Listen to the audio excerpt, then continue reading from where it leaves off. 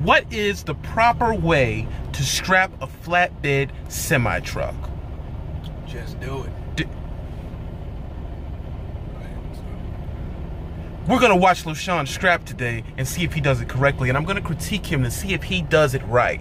I don't think he's gonna do it right. Most guys don't know how to properly secure or strap in flatbed, but today, Strapping, uh, do you do a DOT wrap on the strap? nah, bro. You gonna show us? I'm gonna show you. And this is this is the way that it has to be done in flatbed. It's the American way. It's the American way. You were wondering how to strap the truck down? We're gonna teach you today.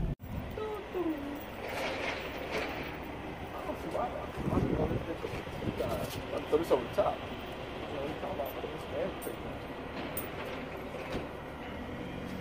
All right, let me know when you're ready. We're ready. All right, welcome to Trucking with LoShawn Parks. You guys could have been anywhere else in the world, but you're here with me.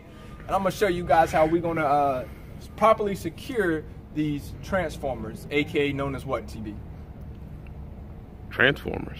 No, that's not what you said earlier. I don't remember what you're talking Call about. them conduits, something like that. I don't remember that. You're a liar. All right, I know they're not a generator like you thought. right. So we can't go over the top. We cannot go over the top of these transformers with straps.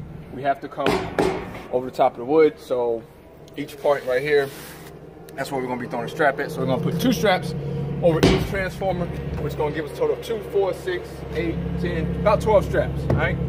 So uh, let's get started. Yeah. You're counting out your securement before you pull them out? Six, that is correct. I need 12 straps. Seven. Eight. Nine. Ten. Eleven. I think you, you probably need to organize that a little bit better. I'm gonna show you how to utilize What the tool is today. that? This is for that. This gives it a tighter grip. As you guys can see the demonstration in there. What you do is you put it in there. It's better, it gives a tighter grip or a tighter lock on there better than what your actual hand can do. Really? Yeah. Well, good and tight. We just plugged them. I've never heard of this product. We are not sponsored from them at all. But You they make can su- holler at us for real. You can holler at us. We're going to test them out today and use them on camera. For sure.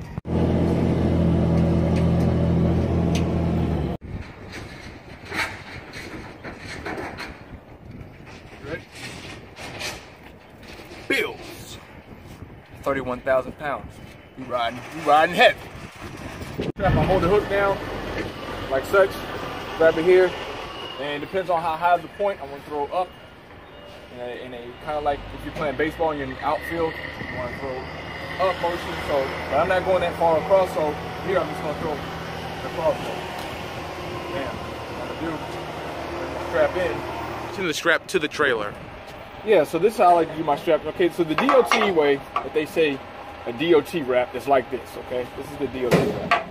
Come across it, come up underneath it, bam, that's DOT wrap. I've explained this in one of my videos already. I don't like this form because still at the end of the day, if you rub across something and it rips this strap apart, so this comes out, strap is loose, this part right here falls to the, well, it doesn't fall to the ground, but it stays here, but then your strap is cut, right? Mm-hmm. So now the strap is not secured any longer because if something comes across this that's really sharp and cuts this, now the strap is just loose. The way that I'm about to show you how I like to do it, the strap doesn't get cut. Come here, come down, right here. If something hits your rail that's sharp, it's hitting metal. It's not cutting my strap, ever. All right, so that's the way I like to do it. Mm-hmm. That's not the DOT wrap, but I don't like the DOT wrap because I feel like with the DOT wrap, it's still unsecured because if something hits it and cuts it, it's a wrap. Cool. Here is the tie down portion. What I'm gonna do is we do these straps without a twist in them because they're not up in the air, so we're not really worried about these straps buzzing. Okay, that's the reason why you put a twist in straps when you take in it over higher commodity. It's because you want to stop the friction. That's what it does. It shakes Yeah, in the wind. okay. I was like, what are you doing? But yeah, that's what you do. It stops the friction, stops the buzzing. So we don't need it because these are not elevated into the air. We're not going over the top of commodity, so we're gonna go straight down with them. Come with it. What you do is, what I like to do, this is how I do. I walk back with the strap.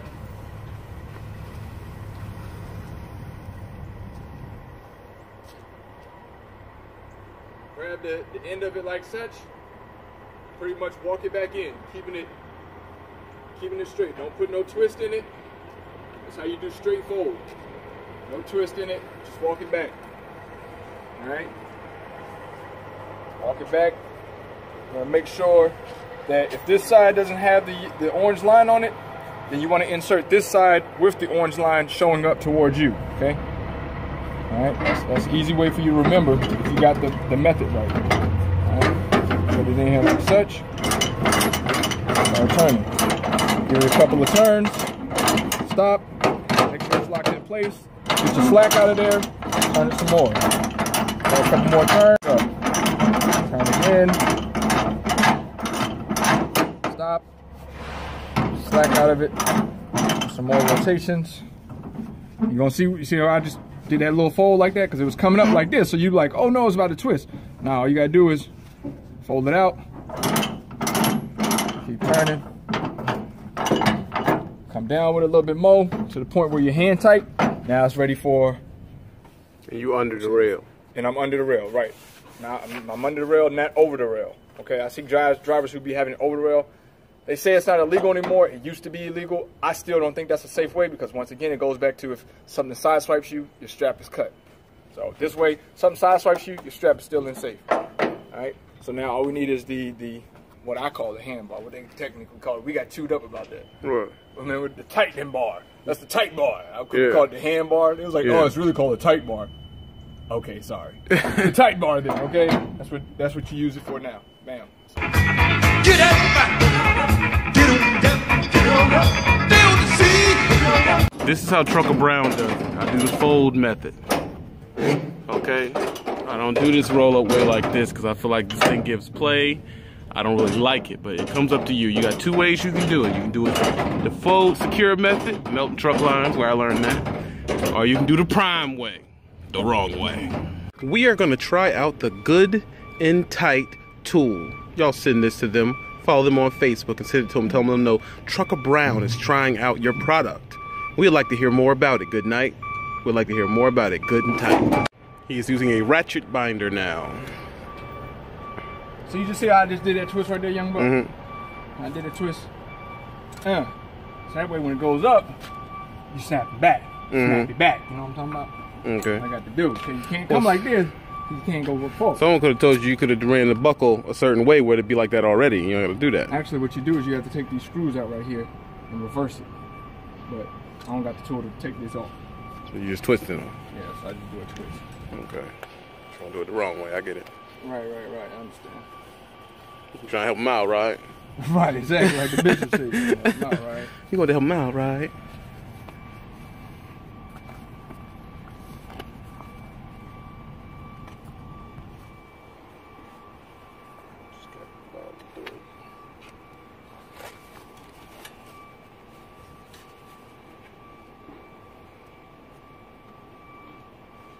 Oh, he was unloading.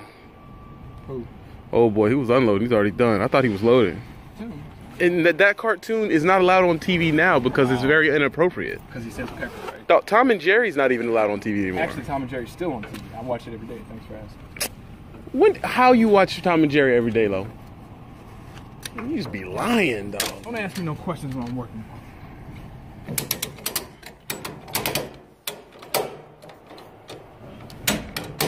Indicated, we don't need to put a whole lot of this strap, man. I hate this thing. You don't like how it feels? No, I don't like it because the way they put it at, where, where they set it at. You wanted it to tuck in. Yeah, because like, dog, like I can't get this as tight as I want to get it because you put it right here next to my my wheel. Ain't no going under this thing either. Because it's so close.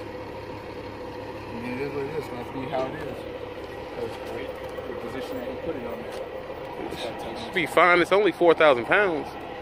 You got 50, you know, you got 11,000 worth of securement on. Even though we don't need to use it, we would like for you to give us a demonstration on this.